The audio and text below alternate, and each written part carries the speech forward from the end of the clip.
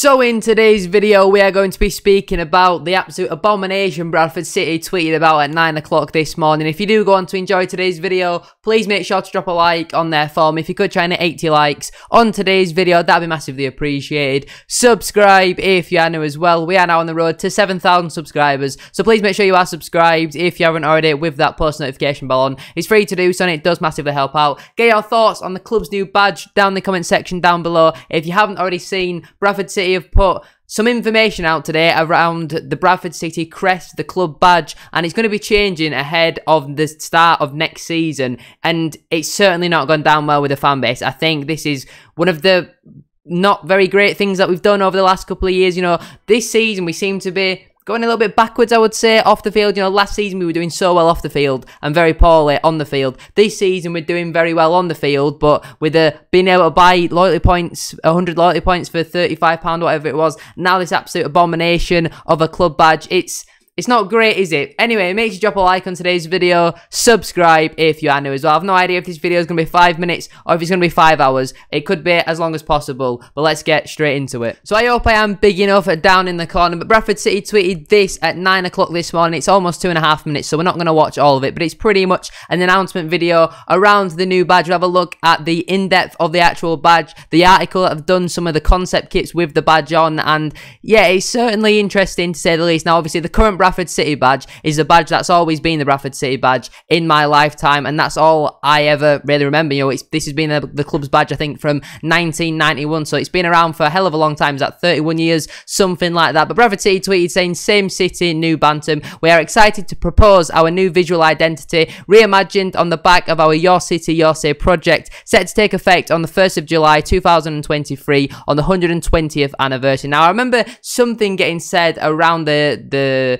survey that they were doing towards, I think it was maybe December, Christmas time, maybe, uh, at the end of last season. And they've decided that a new badge is the way forward. I think I saw somewhere around 5,000 people took the survey. I remember something about the survey being said, but I don't really remember actually doing one, to be honest with you. But the reaction tweet has 236 likes, 136 quote tweets, 21 retweets, and nearly 300 replies. Now, this video does go on for quite a long time. You know, it does take quite a while for you to actually see what the badge is, but here you can see them going into it in a little bit more detail. And you can it, it, looks like it's been made how it's being made on screen here it looks like it's genuinely been made in about 10 minutes put together and it just right hold on we'll pause this this is what it looks like. If you've not already seen, this is what the badge looks like, or the new proposed badge. It's not 1 million percent guaranteed that this will be the badge, but this is one that they're currently proposing towards us. This is them building it and all that sort of stuff. Now, this one that they've designed here is absolutely hideous.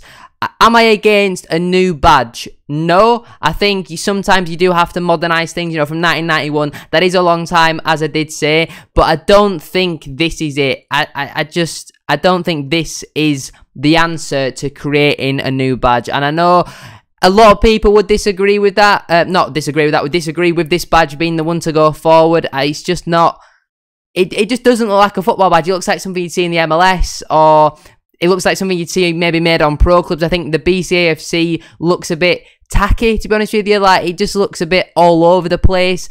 It does look odd not seeing something around here with a star above it, but I'm not totally against not having something here. I just think the star looks completely out of place with it not really being involved with the badge. I think the Bantam just looks a bit odd I don't really get what they've tried to do there, to be honest with you. I mean, it just doesn't really look like a Bradford City badge. It genuinely looks like something you would see, like I said, in pro clubs or somewhere in the MLS. It doesn't look like an English Football League badge. Now, the article the club have put out is a little bit of a long one, but we will give it a quick read. Same city, new Bantam. Bradford City AFC is excited to propose the club's new identity following the Your City, Your Say project, which has been consulting with supporters over the past 12 months about the club's brand and how they would like to see it reimagined for the future. Starting in November 2021, the Your Say, Your, Your City, Your Say survey was open for seven weeks and represented the first milestone in consultations with supporters, with close to 5,000 responding to give their thoughts on all things Bradford City. From there, further consultations with fans who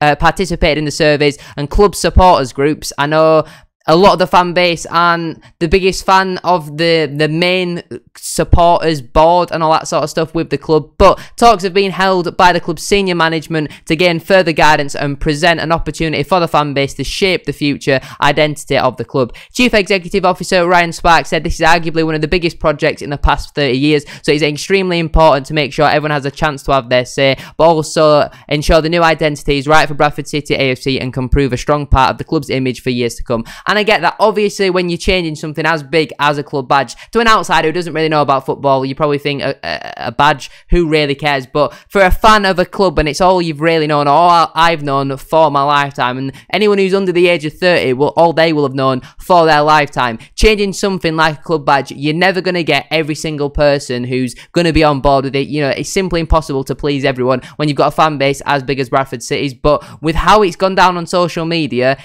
I, I, I've seen maybe 10 positive messages about it and probably close to 500 negative. Eh, maybe I'm over exaggerating slightly, but it's something similar in terms of that sort of ratio. Sparks continues to say at the start of this project, we said we would always be claret and amber, which is obviously something that they have tried to maintain. We would always be the Bantams and we would always be Bradford City AFC, which I'm obviously very glad to see that they've kept that the same. Those things will never change. We also said we wanted to run this project hand in hand with our loyal supporters, and we're delighted to see so many people respond to the survey to give their views and also come forward and engage with listening sessions and workshops to give their important opinions on how our club's identity should evolve. Now, it's great to see the club obviously getting fans involved and all that sort of stuff because if they just went completely and did their own thing, then that it would have gone down even worse. But the fact that it's being consulted by a lot of the fans, and I know they won't have had a final say in the design or whatever, but this badge has been passed off by so many people and this is the best that they could have come up with yeah, it's it's not great, is it? Anyway, we believe we have done everything we possibly can to put the power of this change into the hand of those supporters. So, you know, like I said, fair play for that. But as we strive to be the best on the pitch, which we clearly have been uh, better this season on the pitch than what we have over the last couple of years. You know, we're currently fourth in the table. We also aspire to be the best off the pitch. We feel this evolution of our identity can help us further compete in a digital first world, which also improves the market marketability, marketability and commercial attractiveness to our football club. We believe our new design encapsulates everything Bradford City and the people of the district of Bradford uh, and the people of the district of Bradford stands for. Isn't that meant to be and what the people? Anyway, it represents the unique, hardworking, collective, tough, and competitive nature of our city.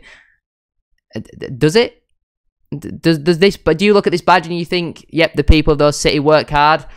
I wouldn't say so. We are constantly trying to take the club forward, enhancing and improving the organisation. We believe this piece of work is a large part in modernising the club and helping it stride forward on the path to achieving our goals. Now, like I said, I'm not against a new badge, a new modernized badge, because I understand with the times you've got to modernize things and all that sort of stuff, but this certainly is not the answer. You can see the re full results of our survey and feedback here. I didn't actually see this earlier, so we'll give this a little click, and oh, it just takes you back to the video. Now, there is a take this survey option here. It doesn't come out until 5 o'clock, obviously. This video will be coming out at 4 o'clock, so I won't be able to participate in that. I feel like they've put it at 5 o'clock rather than 9 o'clock, because if they put the survey out at 9 o'clock, there would have been a lot of people, obviously, unhappy with the design of the badge. But the fact they've put it at, nine, at 5 o'clock, it allows fans to not be so reactive in their response and not be so negative around it because it gives the opportunity you know it's a lot of hours is that was that eight hours for people to grow with the badge and you know might build on them somewhat. Anyway, Luke Flax, director of brand marketing and media, added from the 2021 survey and the extensive listening sessions we held with supporters, we could immediately see there is an appetite for this evolution. While some supporters were understandably nervous about the project, we wanted to reassure them the fundamentals of our football club will never change and that we were determined to use our past as inspiration for our future identity. Now, from what I saw, the vast majority of people on social media said they didn't want the the badge to be touched at all. The, a lot of people said they wanted it to be left the same. So it is interesting that they've decided to make a new badge. And I saw one of the stats be like the majority of people actually wanted a new badge to be a thing. That doesn't really make sense, but you get what I'm trying to say. And from what I saw on social media, it certainly didn't seem that way. So, a little bit of an interesting one there. There are a lot of intentional similarities between the club's past identities and this new design. Through support feedback over the past 12 months, we could see the common denominators were the importance of our bantam, our distinctive shield shape, and our unique claret and amber colours, all of which take pride in the new design. Now, it is obviously great to see it's not just a circle with a bantam in the middle of it and it says Bradford City 1903 because every other club's badge looks like that. So I'm glad to see that it's got a, even a, a, little bit of design with us keeping the same shield shape. Draped in claret and amber, the club's iconic shield has been, whatever that word says there, geometrically refined and now houses the core parts of the club's identity. The adaptation of the shield and the movement of the elements within it now gives the identity a stronger and more prominent look, which helps it stand up against rival crests in club marketing and communication communications.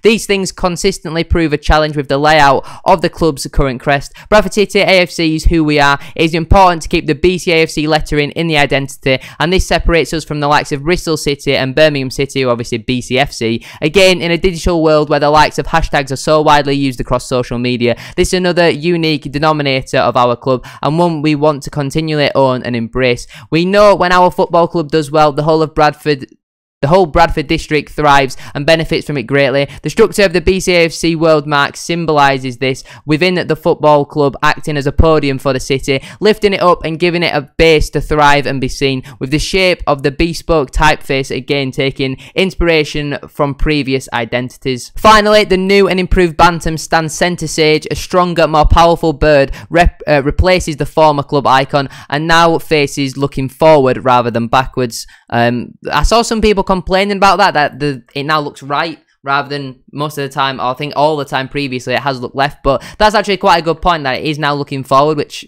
I actually quite like that, to be honest with you. It's one of the few things that I like about this badge. He's in a confident stance with its foot raised, focused, ready to compete and represent. It symbolises everything a Bradford City supporter wants from their team on the pitch. We believe we have done all we can to to collect supporters' views and creatively reimagine the club's identity so that it's not only a strong representation of Bradford City, but will also work in a modern world with the versatility to adapt over years to come. Uh, Bradford City AFC is now inviting supporters' feedback over the new design. You'll be able to check it out from 5pm and all that sort of stuff. Now, I know we've gone on a little bit there reading the club article, so I won't bore you all too much law. I'm not going to waste any more of your time, but these are some concept kits that have been posted on social media with the new badge. I, I, I don't mind the home kit. I don't mind the away kit, but I feel like you're constantly having to change the colour of the badge to fit the colour of the kit. Whereas the badge we've obviously currently got, it got, it constantly stays the same no matter what the kit is. Apart from I believe actually on the third kit this season, it's all yellow, which I think that might be they might have been trialing that to see how it would look potentially with the new badge. I didn't actually think about that until now. But they've been trying to promote it pretty much all day and it's getting a lot of the same replies of fans unhappy and all that sort of stuff. This was a concept done by another fan as well and this looks 300 times better than the current one. I'm not a fan of this with the massive B, then a smaller C, and then a smaller AFC. I like how the star has been incorporated into the Bantam, to be honest with you. I like having the 1903 on there. I like having the white. I feel like you need to have some white or black on there just to give it a little bit of a balance. It's not all in your face. I would have liked to see maybe claret and amber stripes, but how would that really work if you've got the Bantam in there? Obviously, that is just a concept design from another fan. This is the one that Bradford City are putting forward. But as you can see, a lot of people certainly not on board with the new badge. Some people saying that if that stays, they're not buying next year's kit. They want the tweet to be deleted. That one was something that I saw quite a lot. It also did get compared to the Leeds United badge from a few years ago when that quickly got shipped out. I can't see this this badge staying, to be honest with you. A lot of people, as you can see here, I'm not going to read a lot of it out because the video will get demonetized, but a lot of people certainly not happy. I presume this is a joke saying boycott games about it because it's certainly not that bad, but it's not for me personally. I don't really like it, and I'll be interested to see whether they stick with the current badge, whether they try and redesign something else, but they can't just constantly be putting out new badges because what if all of them are awful and they all don't go down well and we're on badge 8 or 9 and we've still not sorted a, a, proper badge out? I can't see this badge staying. Let me know your thoughts down in the comment section down below. Because that is where I'm going to leave it for today's video. If you have enjoyed, please make sure to drop a like on there for me. If you could try and hit 80 likes. As I said at the start of today's video, that'd be absolutely class. Subscribe if you are new as well. We are now on the road to 7,000 subscribers. So please make sure you are subscribed if you haven't already with that post notification bell on. It's free to do so and it does massively help out. As I said, get your thoughts on this new proposed badge that Bradford City have put forward for the start of the next season. Thank you very much for watching today's video. Shout out to our current tier 3 channel member, B Davies 211. Make sure to go check out my Harrogate, not my Harrogate, my Leicester City's under 21s match day vlog if you haven't already as well. I said, thank you for watching. Have a great rest of your day and I shall see you all tomorrow for the Stockport County match preview. Peace.